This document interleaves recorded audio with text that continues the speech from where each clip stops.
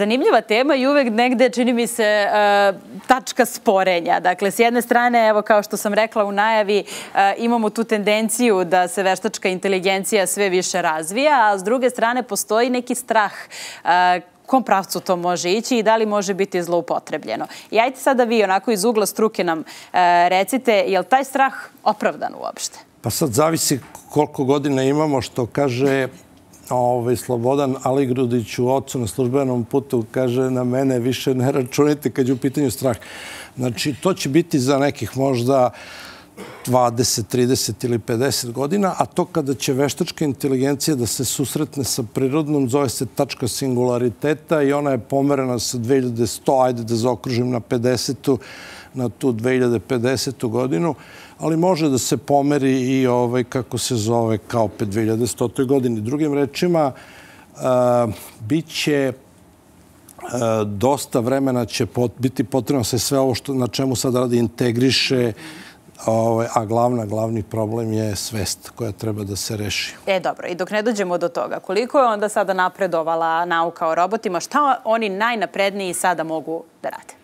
O, roboti mogu da rade ovaj, svašta. Inači, imamo praktično neke četiri generacije veštačke inteligencije koje su e, istovremeno vezane i za robote. Imamo robote koji mogu da, dono, da, da, da rade to što im je isprogramirano. Mm -hmm. Znači, a pre toga postoje roboti i bez memorije, pa primaju s polja instrukcije bežičnim putem i tako dalje. Znači, nemaju sobstvenu memoriju, sobstvenu, da kažem, inteligenciju. Onda sljedeća kategorija su roboti koji imaju nešto malo programa mogu da donose samo one odluke zašto su isprogramirani.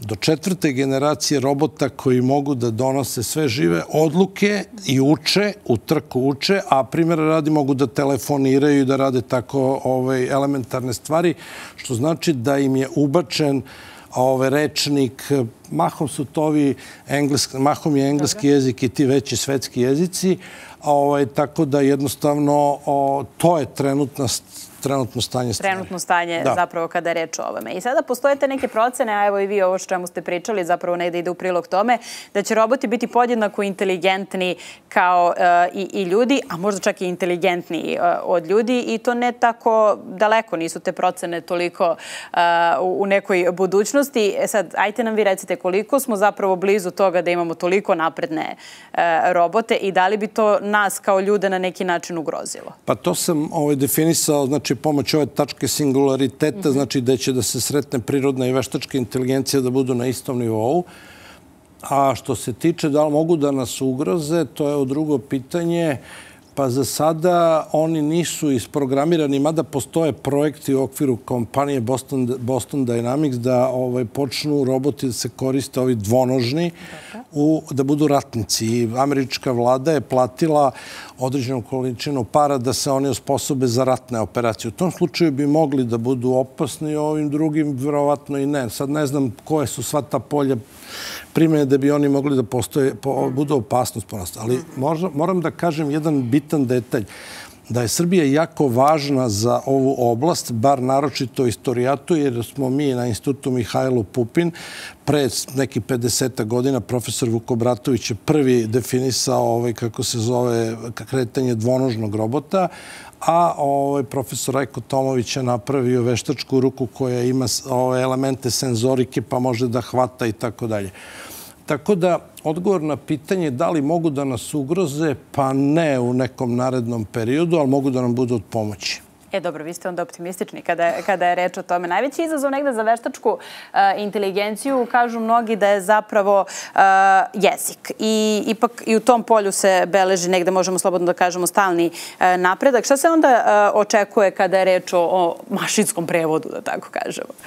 Pa jezik jeste, znači da bi ne, jedan od najstarijih projekata, a praktično moram da kažem da je sve počelo sa ovog Massachusettskog instituta za tehnologiju, Ove, odatle su se odvojile ekipe koje su radile znači, robotiku praktično, pa su se onda odvojili ovi koji rade programe, pa jedna cela ekipa ovaj, eh, koja je definisala 57. godine tu veštačku inteligenciju, njih 11 naučnika koji nisu sa tog svi univerziteta.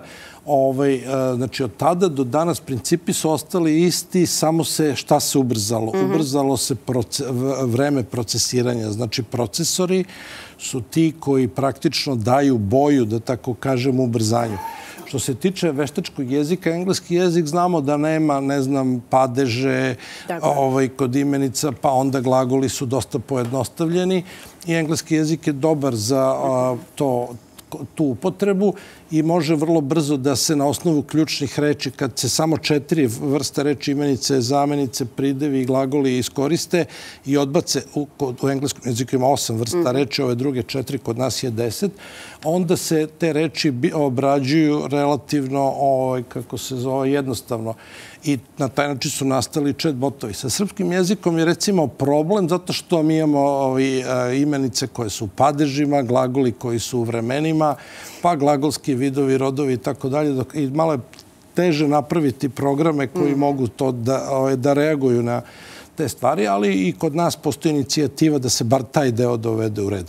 Znači, da zaključim, jezik i ovaj, prirodna, ovaj, ono što zove obrada prirodnih jezika je jako bitna komponenta u celokupnom mhm. razvoju veštačke inteligencije. Da, i evo sada ste spomenuli te chat botove i zapravo postoje određeni programi koji mogu da pišu i naučne radove i negde da vode nekakav vid zapravo razgovora. Chat GPT, ako se ne varam, je jedan od, od takvih programa. Kako to funkcioniše? Dakle, kako bi onda izgledao taj jedan naučni rad koji bi nam jedan takav program napisao? Pa, ukratko, s jedne strane su, ovaj, e, je taj program povezan na baze znanja, znači od e, Wikipedije pa do drugih ovaj, sistema informisanja, a sa druge strane čeka ulaz i detektuje ključne reči na osnovu ključnih reči pokušava da sklopi izraz. Kažem, opet je engleski jezik tu mnogo bolji mhm. i onda se dešava da poremeti, ovaj, da odgovori totalno pogrešno na neka pitanja ukoliko nema informacija. I omaši zadatu temu.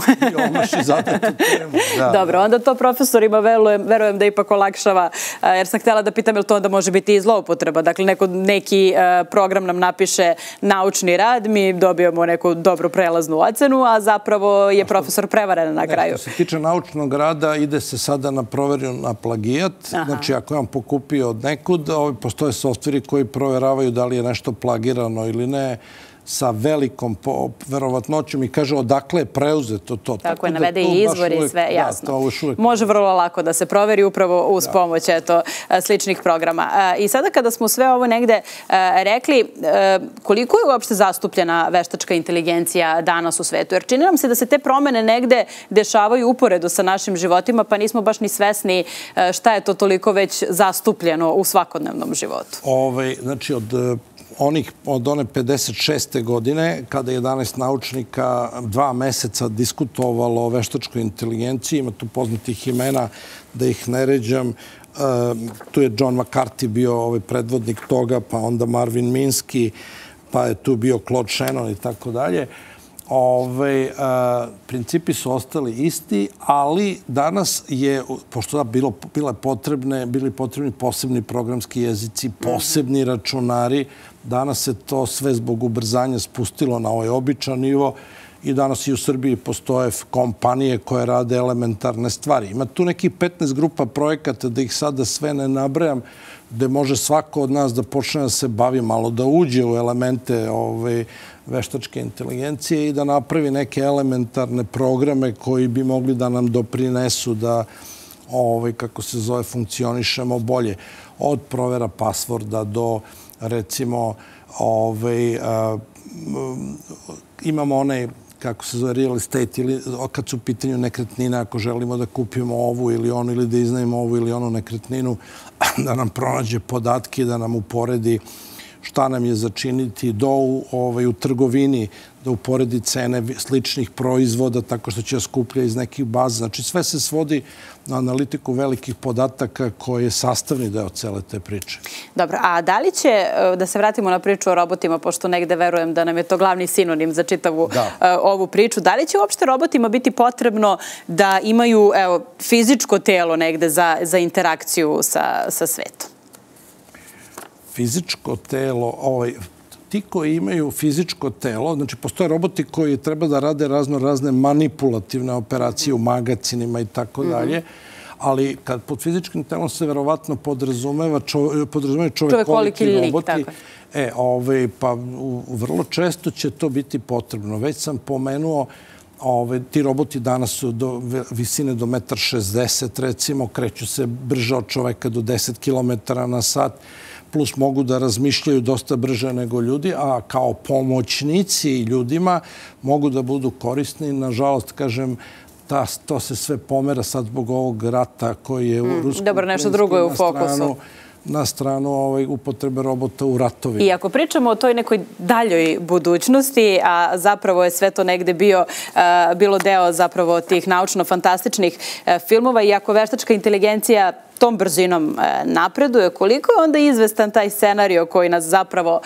plaši da će roboti da se pobune protiv ljudi i preuzmu svet na neki način. Moguće takva neka vrsta zloupotrebe ako neko ima tu moć u rukama? Ono što je ključna stvar je, ovaj, radi se na tome intenzivno, ugrađivanje emocija i svesti robote. Dotle ne.